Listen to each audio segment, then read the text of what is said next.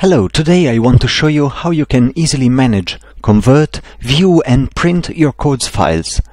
Let's see in action what ChordsFun can do for you.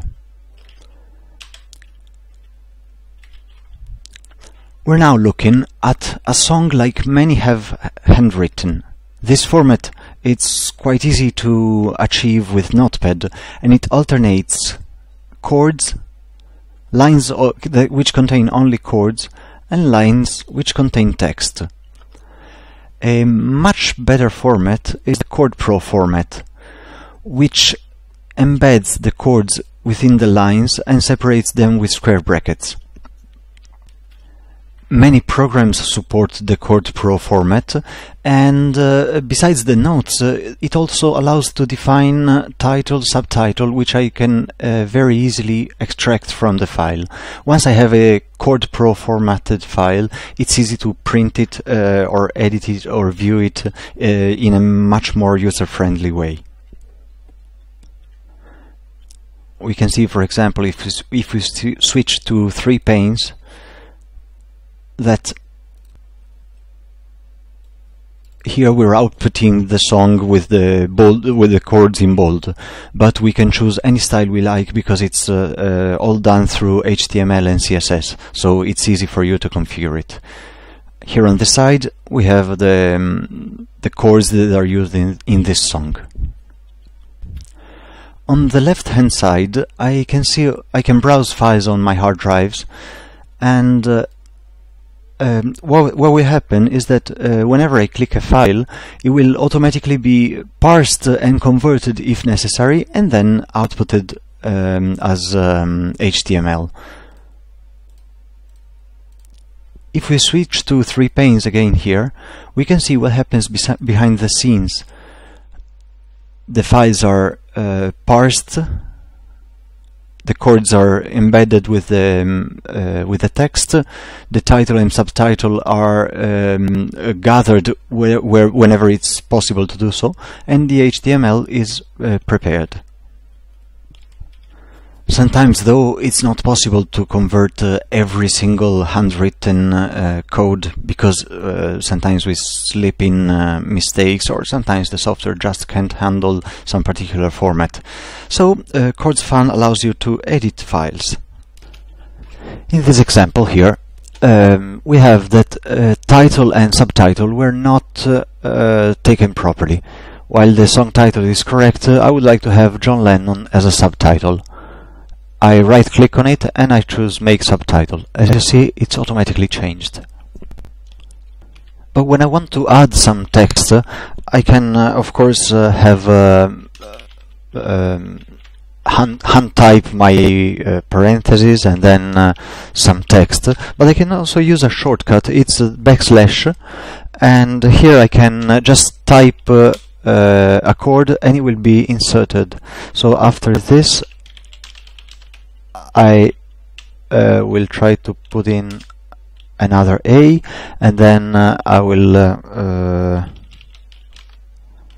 use my mouse to choose a C sharp minus whatever minor.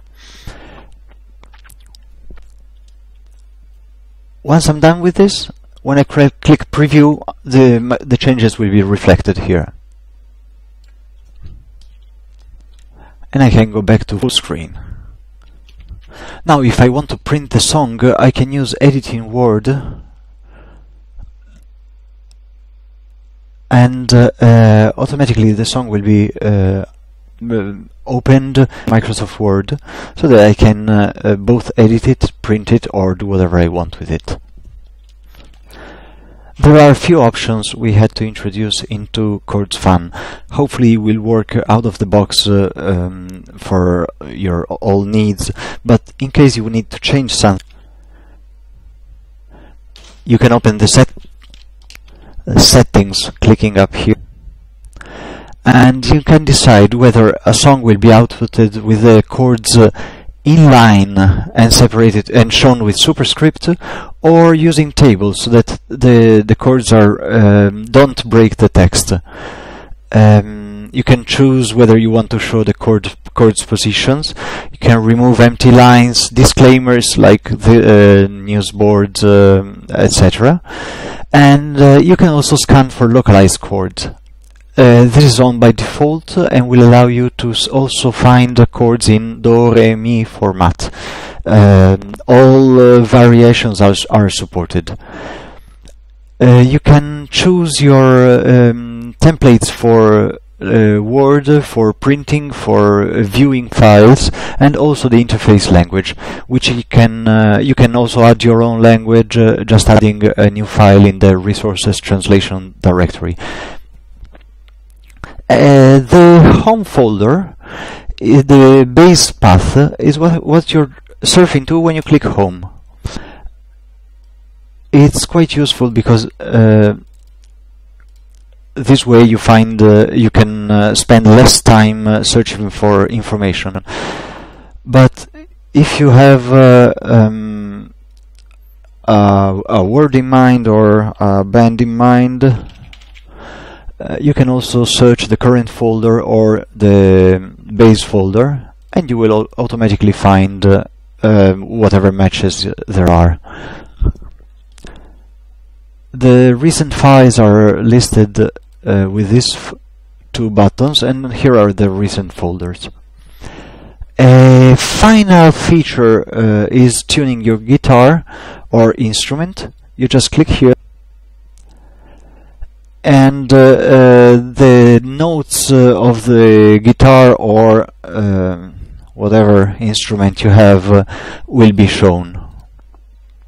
You can also use harmonics if you tune with harmonics. It's a bit more precise.